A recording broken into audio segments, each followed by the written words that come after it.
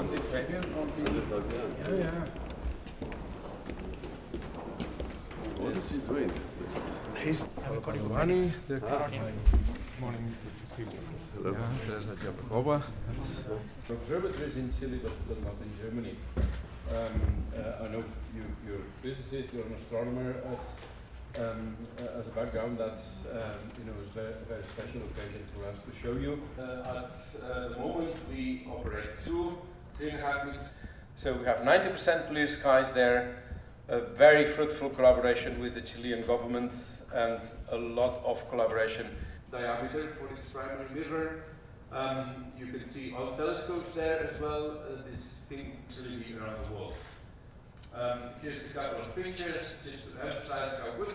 See one of the latest projects that we have deployed in there, which is the adaptive, uh, which is, as I said, a rather unique picture and, and quantitatively very high accuracy. This, this was really a very important milestone which took a lot of effort from a number of people. And the radio interferometer in the world we operate it in partnership with the United States, with the National Science Foundation, and uh, we uh, operate this facility from. Um, this is a summary of the science that we enable to our directly from archival data. This is data that were taken some time ago. We, they are in the archive, they are public, all that you will see in a few minutes from now. Um, and this is the latest edition. This is the southern part of the agreements uh, with uh, this, this group and with uh, the government of Chile. There are two more, two reasons why I'm here. I think we, we spoke a little bit about the first one. It's the nostalgia. I think whenever the moment you are a physicist and special astrophysicist, it stays with you in your life. I've been, been living quite an uh, interesting life, being in scientist and diplomat, businessman, and now president.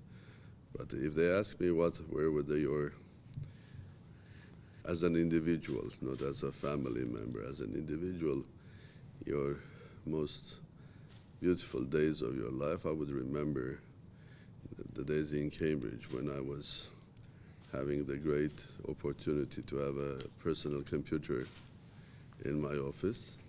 I was from Soviet Union. We were using mainframe computers only to do modeling and look outside through the glass window into the garden of that historic place and meet people who were great scientists, Nobel Prize winners, or legends of your life. So it looks like you live in he heaven. So it's a nostalgia. I'm not here for nostalgia only. I'm here, first of all, to convey to you that I truly believe what you do for humanity is great and very important. I mean, your achievements here. It looks like there are less, there are few probably people that still would have any doubts on, on the accuracy of theory of relativity or gravitational theory. Uh, although I do remember back in 1980s, there were several attempts to, through different types of uh, arrangements to look at it, does it work or not? They're still there. Yeah, but, but you're, you're about fixing a black hole, basically observing, I was looking at your, your video, Yeah. which shows clearly that it couldn't be anything else but that what you were showing. And going into sort of another spectrum or space with your Cherenkov telescopes. And the, good news for me is that Armenia has had small contribution in Cherenkov, Cherenkov obser- observations because if I'm not mistaken, a part of H.E.S.S. 1 and H.E.S.S. 2 were, were some of the parts of, of the mirrors were done in Armenia. We still have the know-how of being there. So I'm coming, that takes me to the second reason why I'm here. But I have also some missions in my life, and one of the missions is to revive Armenia as a center of knowledge, science, and high tech. Why I'm saying revive? Because during Soviet era, Armenia had the privilege. Some of the Soviet government had recognized there is a talent in the country, so they were investing a lot of money and effort in Armenia, in strengthening the universities, creating research centers. That small republic of only 3 million people population, at that time even less, two and a half, had a particle accelerator. I mean, that a country like Britain or France, they cannot have that. A small country of two and a half million had research centers or laser physics, plasma physics, you name it. Had an observatory, Byurakan Observatory, that is quite famous among uh, astronomers, and the school of the school of astrophysics that I come from. I got my education not in Moscow State University, but in Yerevan State University. Uh, and I had the chance of going to Moscow, but my choice was not because it was my homeland, but my choice was because astrophysics in Armenia was stronger than in Moscow. You had very good theoretical physicists in Moscow, Professor Lifshitz, well, you name it. I mean, and the, the school of Landau and going up to those who were opposing the theory of gravi- gravitation, like Professor Logunov and others. so I think, but astrophysics was strong in Armenia, and the choice was Armenia because it was strong. With the breakdown of Soviet Union, what has been left except the history, the structure, and the school, I think there is, I do believe that I can sort of help to revive it. Not only specifically astrophysics, no. I think the aim is in the new age to push Armenia again ahead because this is going to be an age of not natural resources but, but ideas, science and science related technology. And here this is a, it's, it's again, I, I do feel in this new era, Armenia as a state and Armenians, because there are four or five times more Armenians living abroad. So it's a quite uh, globalized nation, one of the rare ones that you have as many Armenians living in Russia or in America or in South America, even in Chile or Argentina, Brazil, everywhere. And uh, there's a tradition of, of valuing education and natural sciences, fundamental sciences. And I want to revive this to make Armenia again a, a place where, where you can develop high technology and science. This is where why I'm here to start on the political sort of a level to tell you that the government in Armenia, in the name of president and the prime minister and the government will be ready to work with the international renowned centers like yours in order to become your partner. Small partner, but sometimes small is beautiful. And sometimes that small can be successful as well. So I'm here to convey that and to find out the ways how can we work together. Why can't we revive some, something much more serious? And why can't we help those who are a part of that to revive the, the story of uh, Byurakan Observatory in the 21st century? Because that observatory, it has telescopes, as you know, but it's more for probably for attracting tourists or doing some small small work rather than doing serious work. And as a part of that, uh, personally, I and my family foundation, we have a program which is called ATOM. ATOM in this case means A is advanced tomorrow. So it's it's a system where you will we will try to integrate children that will come to that place to feel the, to have the feeling of tomorrow. And it will have a part of that will be a museum, a museum of science and technology, but not the history of it, but the future of it. It's a museum of tomorrow. So you come and look what will the world and science and technology look like in 20 years' time. So for a young person, it's a place you come and you plan your, your life. You plan, plan your decision, would you like to be in, in or out? And it will be a place where I would like to integrate those units that have value, like the Byurakan Observatory and all of that stuff. Then I want to, to return Armenia, not Armenian uh, uh, astronomers. I'm sure you have colleagues who are of Armenian origin, but I want to return back Armenia to real fundamental research in of the universe somehow. Small, but in organized, nice way. That's why I'm here. I will take this opportunity to send uh, you uh, invitations. Thank you very much. One will be for an event that we will have on the 7th to 9th of June in Armenia, which is sort of a Chamonix Mont, Blanc event called Summit of Minds, where we have invited top politicians, business people, uh, Nobel Prize winner, technologists, and scientists. And this is where I invited also Marty Rees, yeah. for example, to have a discussion about the future. Okay? But when you come, I will make sure that you will also visit and meet those people that I have in mind. Because it's always a partnership. Well, maybe I want to do it, maybe I'm dreaming, I'm passionate, but there must be a passion from the other side. There's no other way rather than inviting you guys to come to Armenia and we meet there. You see with your eyes what we can do. Then we have another meeting and to discuss what we can do. Even a small thing that we can start together would be very useful, I think. Because it will open a door for the future collaboration.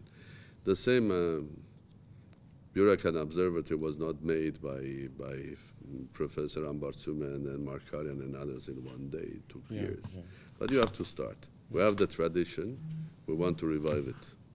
Something for you to uh, remember is uh, this is the 39 meter telescope. 39, sorry. The- yeah, I'm sorry. Don't, don't worry. 39. it's Jupiter's give it or take it. Yeah. So. Uh, Why not 40? Excellent. Thank you very Thank you much. very much.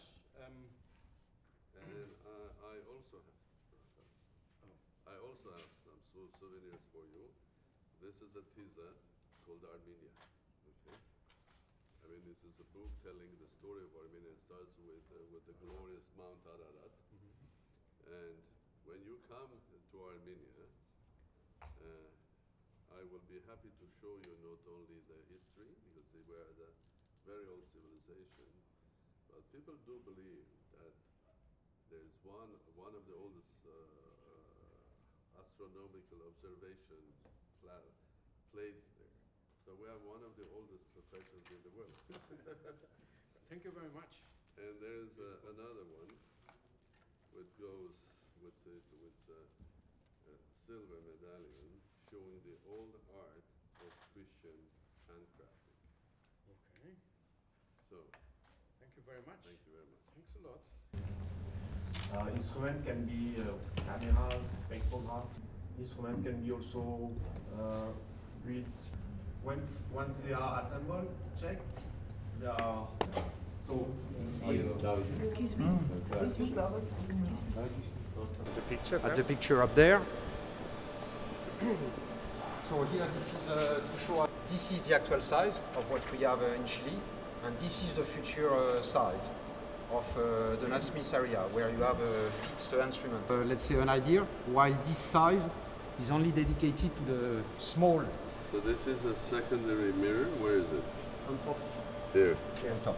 Yeah. Here? Here. Yeah, so it's a bit a non-classical telescope. So it's five mirrors actually, not only two or three. So this is the big light collector, so the, the Yeah. primary. Here's the secondary. Then from the secondary, it goes actually through a mirror, so the, through the quaternary on, a s on the third mirror. And then from third, it goes on the fourth. 0.4 meters across in diameter. It contains 36 of these mirrors. So mirrors. in, in, in diameter, yeah. In, in diameter, it's a factor of it's four. So it's uh, so when you, surface-wise, is is it's it's almost 20. Yeah, I mean it's well 16. Well, that's that's a bit more complicated because of the adaptive optics that this telescope will feature. If you put which- this, this same thing in space, what will be the difference? Are we really losing so much? Yeah, actually the difference is that you get some wavelength windows which you cannot observe here on, on, on Earth, which you will Just get in addition edges? on space. Just the edges? sort of? It's no, no. There are several bands where, you- let's say, where where in space you can observe more. But on the other hand, to lift something like this in space, uh, we have to shrink it down again to 10 meter. So uh, Yeah, then we lose more than we win. So instrument which is working in the infrared. It is uh, it was used already on the telescope and uh, came back uh, here for an upgrade. So this is as well the advantage of uh, ground-based. Uh, you have a much easier access than uh, if the, the instrument would be in space. Um, so this one, let's say, will uh, will get new detect. So this is very similar to Zerodware. So the material we use. The council has a policy for, for the social discussion, all the ways of cooperating outside uh, this, this environment. Աշխարհի ամենամեծ օպտիկական դիտակը, հիմա որ Կանարի հյուսի ներում է, մոտ 10 մետր է։ Սա եր 4 անգամ մեծ իր իր դրամագծով։ Ը, Թվերկավ ձեզ բան չեն ասում, սա ուղղակի ոնց որ հեղափոխության նման մի բան է, ասես թե միջև այս դիտակը երբ որ սկսի աշխատել, կստացվի որ մենք միջև չեւետ ասենք կույր ենք, ոչինչ չենք տեսնում եւ նորից ենք տեսնում։ Բայց դիտակը սովորական դիտակ չի, որովհետեւ դիտակի մեջ դիտակը սարքելիս ակումուլացնում են, հավաքագրում են աշխարհում այսօր գոյություն ունենող լավագույն բոլոր տեխնոլոգիաներ։ Այդ դիտակը լավագույն ուրեմն համակարգչային համակարգը ունի լավագույն մոդելավորման համակարգը, լավագույն նյութերը, լավագույն կառավարման համակարգերը։ Հետևաբար դուք գործ ունեք տեխնոլոգիա ամենաբարձր մակարդակի հետ։ Եվ կարծում եմ մենք հնարավորություն ունենք համագործակցություն ստեղծելու աշխարհահռչակ կենտրոնի հետ։ Իհարկե այստեղ անդամներ միայն Եվրոմիության անդամներ են, բայց Չէ, Չիլիում տեղադրված ենք, տեղադրված է, բայց Հայաստանը Եվրոմիության հետ լավ հարաբերություններ ունի եւ Գերմանիայի հետ եւ Ֆրանսիայի հետ։ idea provider. Հա, տեսակ ու տեսակ է ճիշտ ընկալում եք։ Իրականում խնդիրը հետեւյալն է, որ արդեն մի փոքրիկ ներդրում ունենք, ինչպես ասացի Չարենկովյան դիտակների մեջ, հնարավորություն է տալու, որ իրական գործնեություն եւ այստեղ անպայման պետության հոգատարությունը կա։ Առանձին գիտնականներ կա, որ առանձին ծրագրեր անել բայց եթե չկա պետության աջակցությունը շատ դժվար է լինելու։ Եվ ես կարծում եմ ես նպատակ ունեմ աջակցելու, որպեսզի մեր գիտությունը ավելի մոտ մոտենա հայկական գիտությունը տեխնոլոգիան մոտենա աշխարհի լավագույնին, իսկ աշխարհի լավագույնն է։